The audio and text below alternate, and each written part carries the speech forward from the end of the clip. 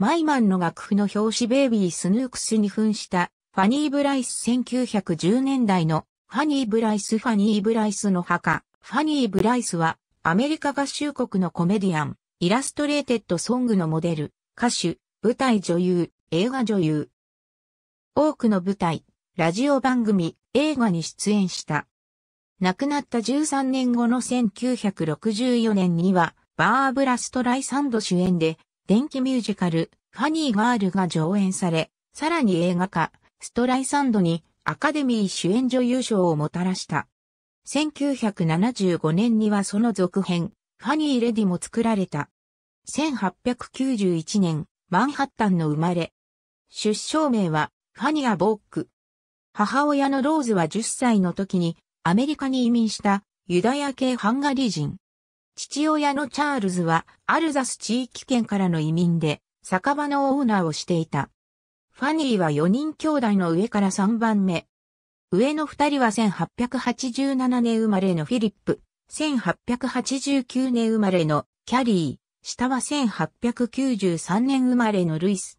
弟のルイスは、ルーブライスという名前で、俳優、ダンサー、コメディアンをしていて、メイクラークの最初の夫でもあった。1908年、ファニーは学校を中退して、ビクトリア調のバーレスク、 The Girls from Happy Land Starring Sliding Billy Watson に出演。2年後には、フローレンツ・ジーグフェルド・ジュニアと組んで、1910年と1911年には、 Ziegfeld Follies の主役を務めた。1921年に、 Follies で歌った My Man は大ヒットを記録。彼女の代表曲となり、1999年にはグラミー殿堂賞の栄冠に輝いた。他にも20曲以上を Victor Talking Machine 社とコロンビアレコードから発売した。舞台では Sweet and Low、ビリー・ローズの Crazy Quilt。映画では、 My Man、 Be Yourself、ジュディ・ガーランドと共演した、 Everybody Sing。ホリーズを扱った映画、巨星、ジーグフェルドとジーグフェルド・フォリーズには、オリジナルのフォリーズメンバーとして、ただ一人出演した。ラジオへの最初の出演は1930年のフィルコアワー。最初のレギュラー出演はザ・チェイスサンボーン・アワーと思われる。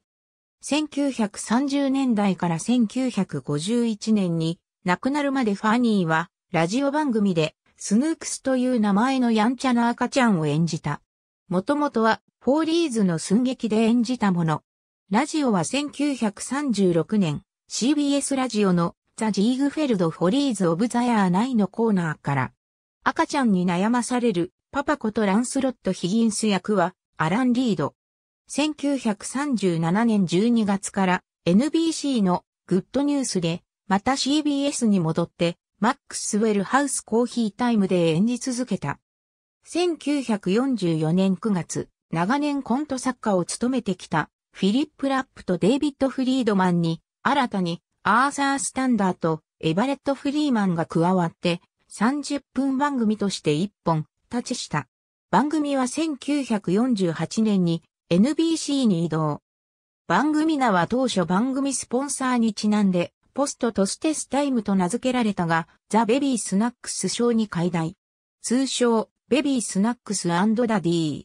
ハンリー・スタッフォードがパパ役、リードがその雇い主、ビームッシュ氏を演じるスピンオフ版もある。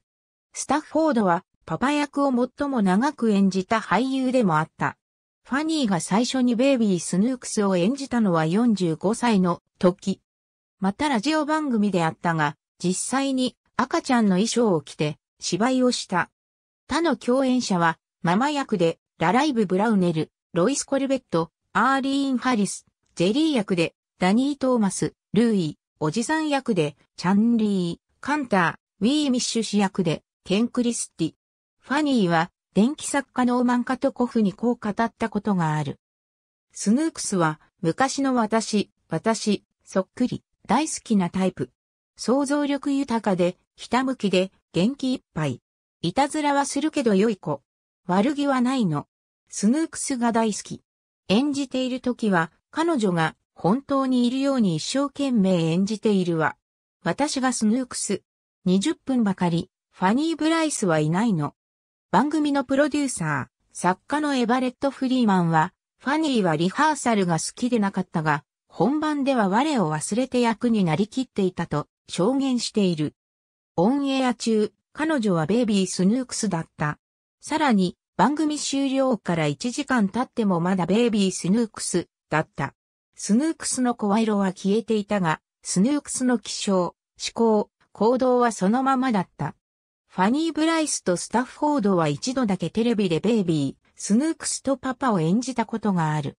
1950年6月の CBC テレビ、ポップシクル、パレード・オブ・スターズでのことだ。これは、ファニーの唯一のテレビ出演でもあった。私生活では、10代で離発し、フランク・ホワイトと結婚。ファニーがカレッジガールを巡業中だった1910年、マサチューセッツ州、スプリングフィールドで知り合った。しかし、結婚は長く続かず、1913年にファニーは離婚訴訟を起こした。二度目の結婚は、プロのギャンブラーだったニッキー・アーンシュタイン。結婚前、アーンシュタインは盗聴の罪で、新進刑務所に14ヶ月服役していた。ファニーは毎週彼のところに面会に行っていた。1918年、6年間の同棲を経て結婚。しかし1924年、アーンシュタインは、ウォール街再建窃盗で起訴。ファニーは無実を訴え、裁判に大金を投じるが、有罪となり、アーンシュタインはレブンワース刑務所に服役した。1927年に釈放されるが9月17日、二人は離婚した。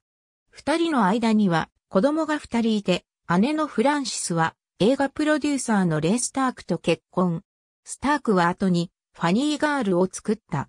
また弟のウィリアム・ブライスは抽象絵画で知られる画家となった。1929年、ファニーはソングライターで舞台プロデューサーのビリー・ローズと結婚。 Crazy Quilt などローズのレビューに出演するが、1938年に離婚した。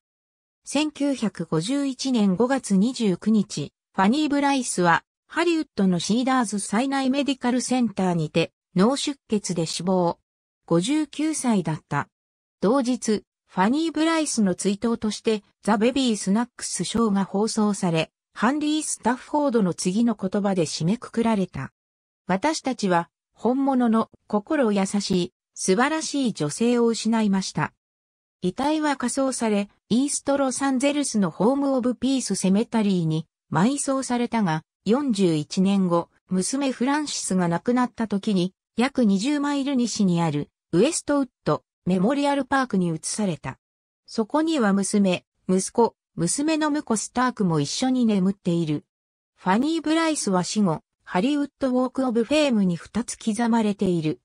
映画への貢献を表す映画カメラは、ハリウッド・ブールバード6415、ラジオへの貢献を表すマイクは、バインストリート1500。 Herbert G Goldman、Fanny Brice、Oxford University Press、ピアニッシモ、70、ISBN 978から0から19から53万5901から5、HTTPS、archive、ORG、details、fannybriceorigin00gold、ハット・リチャード・バリオス、 A Song in the Dark、Oxford University Press、1975、 Michele Hilmes、Fanny Brice the Snooks Strategy、Negotiating、A Feminine Comic Persona on the Air。2020-7から09閲覧。Radio Digest Magazine、June 1933、AB、 Fanny Brice Dies at the Age of 59。The New York Times、https コロンスラッシュスラッシュ www.nytimes.com スラッシュ learning スラッシュ general スラッシュ onthisday スラッシュ bday スラッシュ 1029.html2020 年7月9日閲覧フFanny Brice、stage screen comedienne the Baby Snooks、of radio、died at 11時15分。AM Today at the Cedars of Lebanon Hospital. Her age was 59. Miss Brice suffered a massive. Cerebral Hemorrhage Last Thursday morning and was rushed to the hospital from her home in Beverly Hills、she never again regained consciousness、although she was placed in an oxygen tent、Billy Rose、Free to Wed Again、and So Is Fanny、Brooklyn Daily Eagle、Fanny Brice、findagrave.com。2020年7月9日閲覧。ハリウッドウォークオブフェームファニーブリス。walkoffame.com スラッシュ。ハリウッドチャンバーオブコマース。2017年11月30日。閲覧。ありがとうございます。